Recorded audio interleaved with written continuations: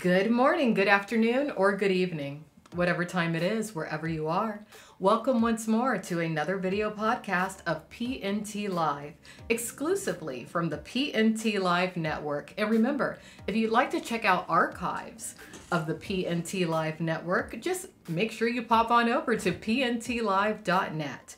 Now, today I'm going to share with many of you a rather interesting blog post by one of my favorite adult entertainment industry bloggers, a man known as Luke Ford. Actually, it was Luke Ford who kind of inspired me to continue my own path as an independent investigative journalist or blogger when it comes to the adult entertainment industry because the truth is out there. Sometimes it's suppressed, sometimes it's concealed, but it's out there.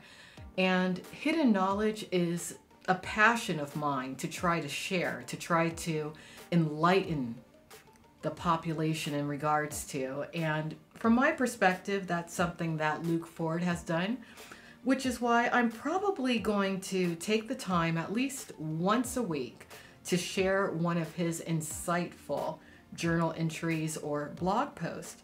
Now, today, the blog post that I'm going to be sharing, um, I'm not sure when it was written. There doesn't seem to be a date on it, but uh, it does say that there is an update in 1999. So I think initially this post must have been written in the mid 1990s, but it's about an adult actress known as Melissa Hill. Melissa Hill features her own B cup breast and the ability to act her way out of a paper bag. She stands 5 foot 4, weighs 115 pounds, and measures 3B 2536. In her 20s, the former ballerina and ballet teacher appears in 130 productions during her three years in porn. She lives in the San Francisco Bay Area where she grew up. Hills never lived anywhere else. Her family ignorant of her porn work, live nearby. The oldest of three daughters, Melissa developed as a quiet, shy, nerdy kid who liked to read all the time. She retains those characteristics, never talking to strangers and uncomfortable discussing sex. I'm going to interject there. From my perspective, any professional within the adult entertainment industry who comes across someone who claims that they want to be an adult actress but is uncomfortable discussing sex, which is the job, probably is not right for the job of being an adult actress. And such professionals around such an adult actress or potential adult actress it seems as though it would be their responsibility to deter this actress from moving forward in the industry or to out and out not even book the individual for any jobs within the industry. But I'll continue. In answering my questions about cum shots, blowjobs, and anal sex, which she doesn't do, Melissa frequently used words like weird, awkward and embarrassed. Strangely enough, I do get embarrassed, blush, and become awkward. I can't even dirty talk during a scene.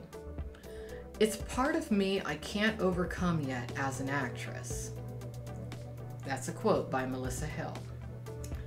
For two years, Melissa dated Swedish porn director Nic Cramer, which didn't necessarily work to her advantage. They limited her participation in his movies, so she won't be dismissed as just the director's girlfriend. She waited around on Nic's sets far longer than other performers who would receive a $40 to $100 kill fee if they weren't used. Compared to other performers, Melissa grew up slowly, not dating or having sex until 17 years old. After taking 17 years of ballet, she taught the subject for five years after high school until entering porn. Melissa waited until she was 18 to go to her first dance club. She never used a fake ID or tried drugs. She didn't drink until the age of 21. She accompanied her friend, Caitlin Hill, to porn shoots before diving into the industry. She started with amateur sex videos in San Francisco before moving to bigger LA productions. In her first sexual experience with a girl, Melissa did her friend Caitlin, also a lesbian virgin. Video Virgins features lots of nervous giggling between the two. Melissa is heterosexual. She's never been with a girl in private, though she remains open to it. Quote, When I started in porn, I didn't realize you could refuse things or choose who you wanted to work with, or choose where you got the pop shot. And so I resent always getting it in the face. I see so many girls say, I won't take it in the face.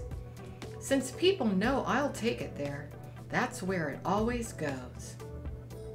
Melissa feels disgust for men who use the cum shot to a woman's face as a vicarious revenge on females who've rejected them in the past. Quote, I'm glad that none of my friends feel that way. I would never do anything demeaning. At first, I never wanted to play a hooker. I wanted to show that you can be intelligent, properly dressed, and still be in adult movies. You can think and act. I'm an actress not a porn star, and certainly not a cunt for hire or sperm receptacle. No one has the right to call us that. I don't like to read the sex magazines like Hustler Erotic Video Guide. They're insulting. Though recently, I saw a piece they did on my friend Gentile, and it was the most pleasant thing they've ever said about anybody. They write for the fantasies of a select group of men if you give them an interview, they quote you out of context by taking part of a statement to make it appear that you're insulting someone. End quote. Melissa lists her primary reasons for performing in porn as money and the opportunity to act.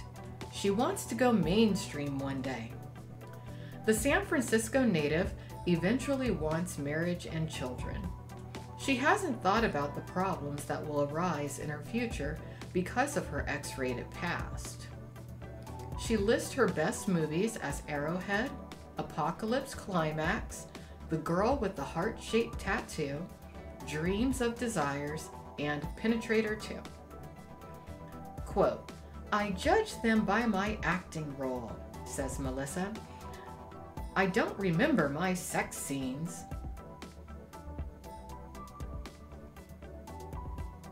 let's pause there. I don't remember my sex scenes, says an adult actress. That's not healthy. From my perspective, this woman never should have been in the adult entertainment industry. As of current, there is a licensed doctor who has recommended that this woman go into a mental health treatment program. I hope one day she decides to do so because um, if you're willingly cutting out a part of your life that you would be known to the public for, that's not healthy mentally. Not at all.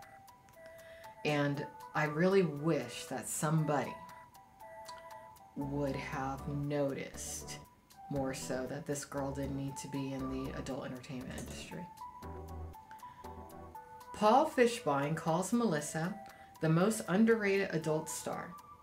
Quote, she can act. She can F. Everybody likes her and she looks like the girl next door more good performances in the last two years, 95 and 96, than anyone. End quote. Okay, so this was written probably around 96 or 97. Hill hardened during her years in porn, looking as though she used drugs regularly. Then in 1997, she broke up with Nic Cramer and started getting her life back in order. Patrick Riley writes on the rec.arts.movies.erotica news group on April 24th, 1999. Watching Wet Spots number 7 from Elegant Angel last night, and who appears but Melissa Hill? Isn't this a step down? Wasn't she a VVW person with a possible future like Julie Ashton?